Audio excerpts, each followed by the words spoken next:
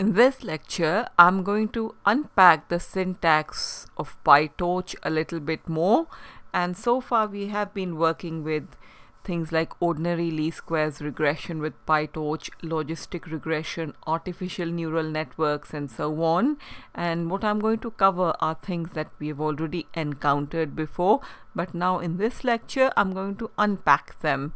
So you can import torch, torch optim as optim now, this is the key thing that you must have encountered it a few times and you must be wondering what this is about. So, import torch.nn as nn. Now, this module, torch.nn, is the cornerstone of designing neural networks in PyTorch, and indeed, it came into play when we were working with things like linear regression as well.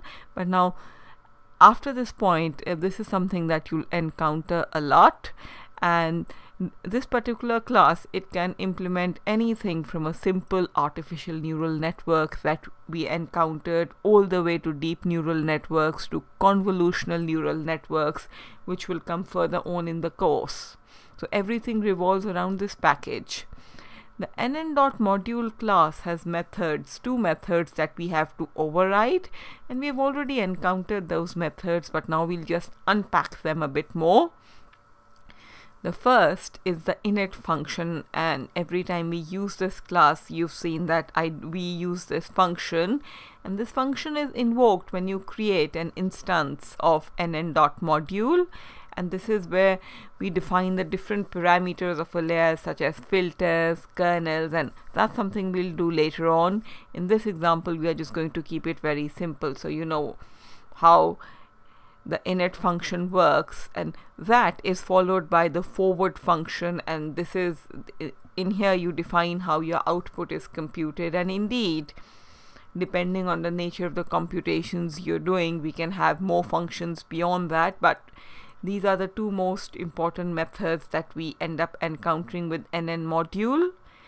So now we are just going to in this example we'll just stick to multiplying the input by a number we define the class and I call it example layer. I call nn module and as soon as I call nn module I have the init function which I have to essentially this is going to be invoked every time we call nn module. Def init self param super dot init self param and obviously these are just the syntax that you have to bear in mind. And now I'm going to define the forward function. So def which stands for forward um, for function and I'm going to just call it forward.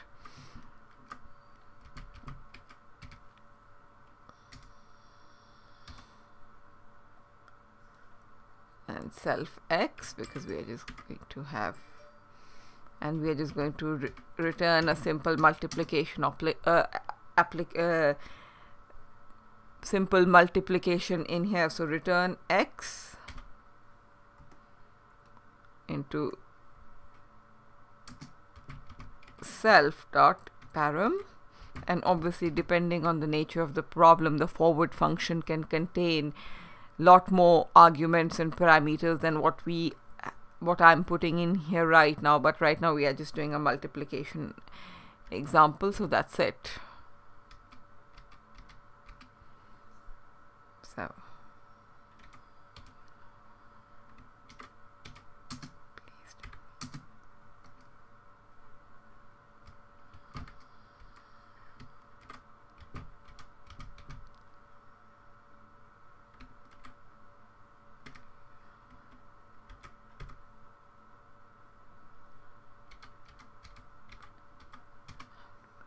so now output my object. And now we are going to just put in the tensor.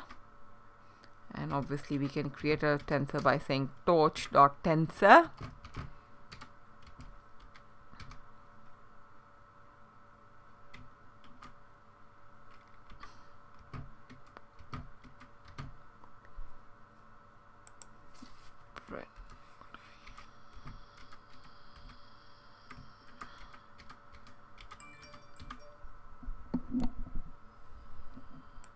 so now we can print the output and basically this is how in the forward function. So the def init parameters these are just basic initialization parameters that we end up using. And in the forward function I just define a multiplication operation. And depending on the nature of the problem we could indeed end up defining more complex operations in here. But right now we'll, we'll just try to do a multiplication operation